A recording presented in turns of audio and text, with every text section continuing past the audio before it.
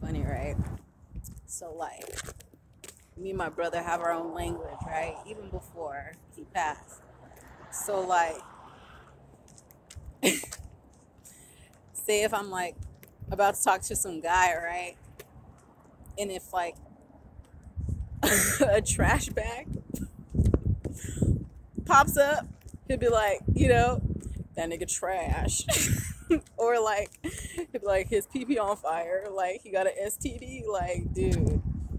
Y'all need to listen to your ancestors, like my grandmother, you know. I like I'm not gonna share what, you know, they symbolize for me but remember your relationships with your ancestors, okay? Your ancestors aren't the ones that are just hundreds and thousands of years ago, you know? My brother's my ancestor now, even though he just passed, you know? Your ancestors are the ones that have passed. Anyways, um, so like, no, it's just, it's cool. It's funny to know that, like, you know, if I'm thinking about somebody, my brother will give me a sign, let me know if that nigga trash or not.